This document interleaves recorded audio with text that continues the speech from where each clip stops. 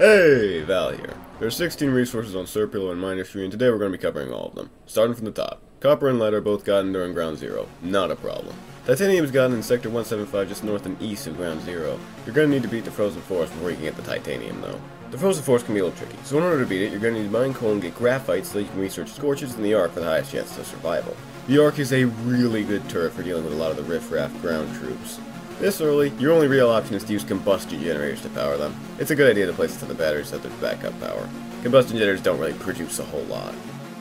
So now you've beaten the Frozen Forest and gotten Titanium, you can either go northwest to Sector 222 and then Sector 85 to get Thorium early, or you can go with the campaign and beat the craters first. They're not mutually exclusive. But remember, the Guardian in the crater is airborne, so make sure to set up a lot of scatters.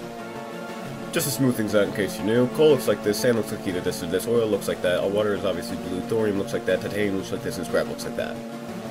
Alright, now at this point in the tutorial, I'm assuming you've beaten both Sector 85 and the craters. Now, onto the manufactured stuff. Graphite is made with coal and can be made after beating ground zero. Graphite is used a lot, and a single graphite press doesn't make nearly enough, so make sure you have a lot of them. The highest amount of graphite presses I could put together looked like this. Yeah, not great, but it does the job. Silicon, made with sand and coal, is the most important resource in the game, hands down. So make sure you keep the production strong. Best production I had looked like this.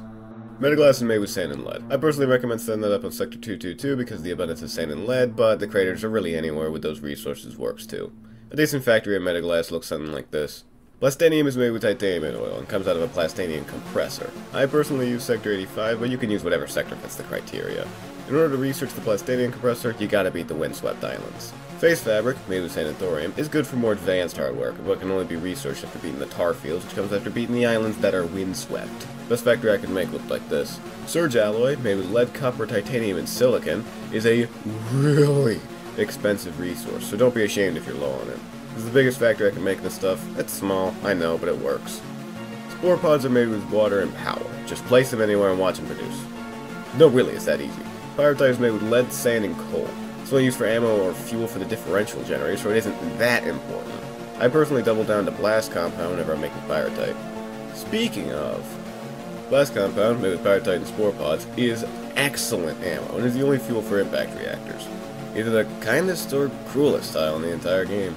Also, don't put them in combustion generators. They're called blast compound for a reason. And that's that. Thanks for watching the video. Sorry for being away so long, I was under the weather and had to take a break from YouTube for a bit. But, now I'm back, and I hope you enjoy.